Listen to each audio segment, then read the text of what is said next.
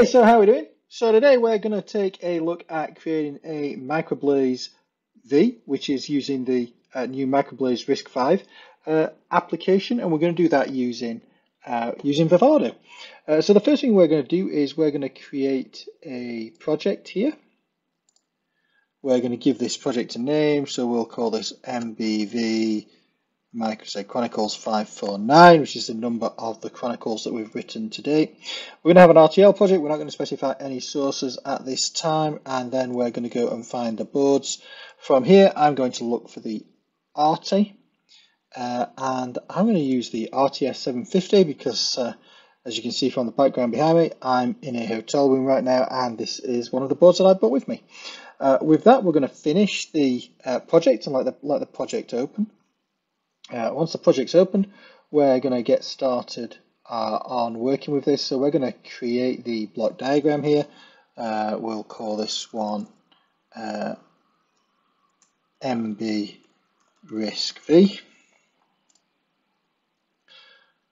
Once we've got this block diagram open, what we're going to do is we're going to leverage some of the capabilities that we get uh, with the Vivado's board awareness. So we're going to click on the boards tab here we're going to click on the DDR3 SDRAM. We're going to pull this over to the uh, block diagram. It take a few seconds uh, to do this, but once we've got this on, it will not be uh, too bad at all. So this is going to add this new memory interface generator. So this is uh, where we can run um, where we can store data, run our applications from, uh, it's quite useful to have. Uh, actually, we don't want these reference clock and the system clock, so we're gonna uh, we're gonna delete that.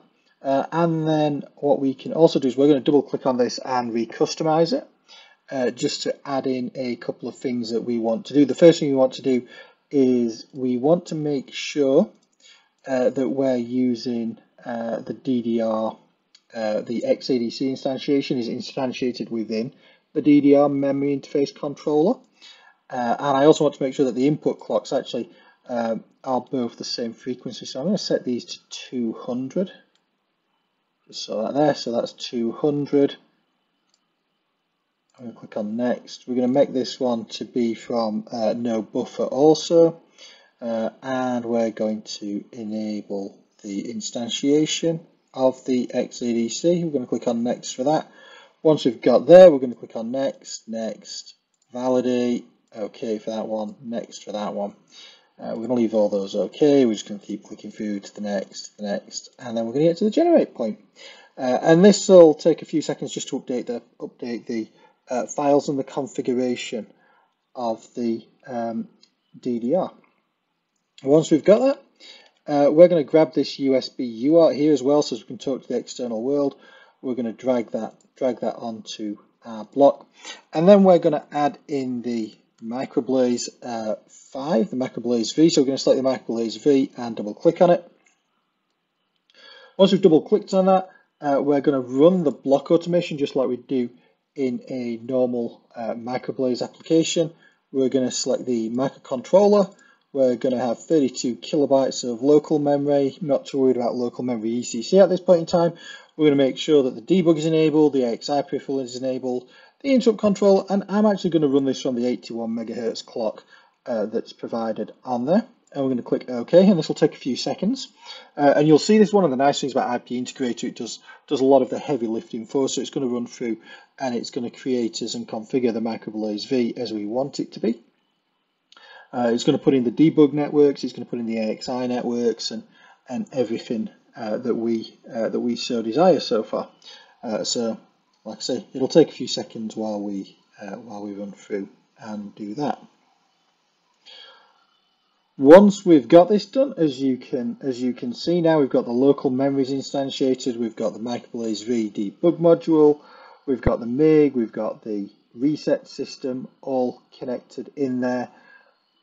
We've got the AXI network, we've got the interrupt controller and the concatenate block. So what I'm going to do is I'm going to reconfigure this concatenate block at the moment just to have one input.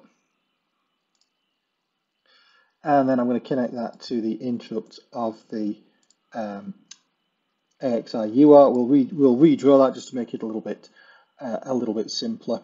Uh, the next thing we want to do obviously is we need to uh, we, well, uh, we need to run through and run through the connection automation. So here we're going to connect the uh, AXI networks up a little bit and just run that through. And that's going to connect us through uh, to the data um, the data peripheral network that's connected uh, connected through here also. What we uh, what we need to do, we need to reconfigure. We want to reconfigure this also, and make sure that we can get the um, we can get the uh, instruction uh, passed through as well, the data instruction. So we're going to skip through these uh, levels here, uh, options here, and on page five here, we're going to enable the uh, AXI instruction interface. I'm going to click on OK there. Uh, and then we're going to run the connection automation again, and we're going to click on um, on that, and we're going to say that the slave interface here is the uh, MIG, and then we can see there that we've got all of the nice uh, nice AXI paths that we want uh, that we want for our system. What we don't have so far, obviously, is we don't have a clock going into it. Uh, so what we're going to do is we're going to add the clocking wizard. Uh, we're going to take the clock output here. We're going to take this to the reference clock and to the system clock. We're going to take the locked output here and put that in as the system reset. We're going to double click on this here and then we're going to make sure that that is set for 200 megahertz we're going to make sure that this is set actually for 12 megahertz because this is the clock frequency that we're going to use.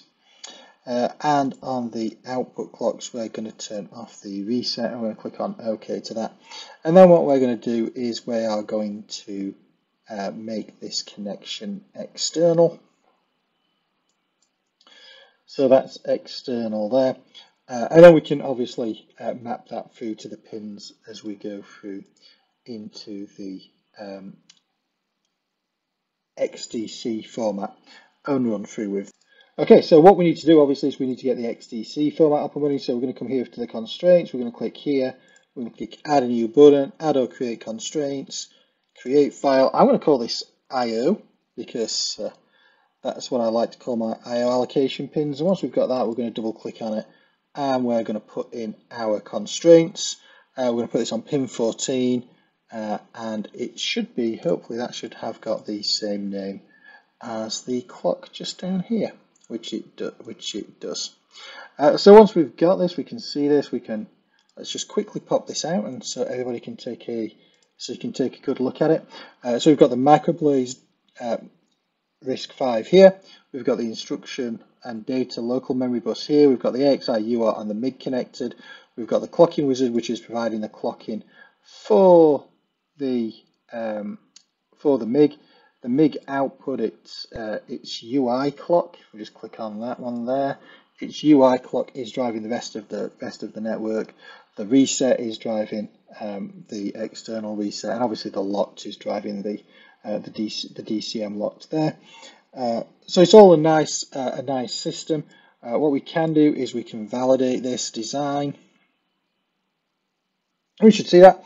Come back, there are no, no, no errors, no warnings in this design, which is exactly uh, what we want to see. So on there we can click OK, uh, we can click down, and then we can start to implement implement our um, our design. Once that design is implemented and ready, then we can uh, export the XADC, uh, XADC, we can export the XDC file, uh, and having taken that XDC file out into um, the, uh, the, the file directory that we want it to be into, we can then start working with Vitis. So let's take a look at Vitis. Okay, once we get into Vitis, it's relatively simple what we want to do uh, we want to uh, first off we want to create a um, want to create a new workspace. So we're going to open a new workspace uh, and we can do that wherever we wherever we want. Uh, so we're going to come back here and we're going to find our project that we had, uh, which was this one, uh, and we can create a workspace in it. Once we've got that workspace selected, we'll see the Vitis IDE will open up and configure everything in there. That workspace is where we're going to keep everything. We're going to keep the platforms, we're going to keep the applications and everything like that. And this is the next step on it is to create the platform component. Uh, so we can call this uh, risk. Let's actually call this microblaze. Micro blaze V.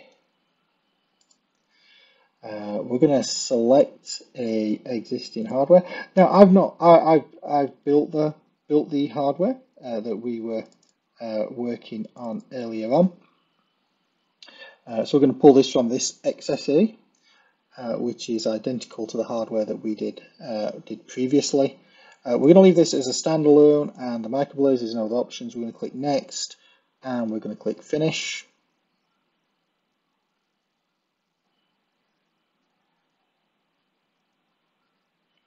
And then in a few minutes, we'll see that we have a Microblaze platform here. What we're going to do then is we're going to click on the welcome one here. We're going to click on examples. We're just going to find the simple hello world example. We'll notice when we scroll down in the supported processes, we'll see that it can do the Microblaze RISC, uh, RISC-V. Uh, and what we're going to do is we're going to create that application there. Uh, so we'll just click next on that. We're going to run this on our Microblaze um, platform that we've just created. And we'll click on next and finish. And this should all run through uh, and give us a application and a platform. Should be very familiar with this. I'm not going to take a lot of time and spend a lot of time uh, talking about this. What we're going to do though is we are going to build uh, the application. Uh, this should also build the um, also build the platform. We'll see down here we get the final uh, the final size, uh, and then the final thing I'm going to do is we're going to pull this across onto our Arty board here, and we're going to debug onto uh, this. That will we'll see this as it runs and it downloads the application uh, and it will hopefully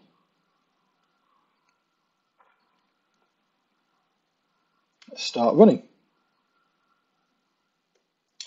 We'll see that runs down. We can see it's now paused on the heart, on the breakpoint, on the on the RISC on the RISC-V processor, which is inside the uh, 750 if we open up the terminal window, this is one that I had earlier, but if we clear that and clear the clear the buffer, uh, what we will see uh, as we single step over these is the application uh, working as we uh, as we would expect. So you can see hello world coming up there and we can see also successfully ran the application.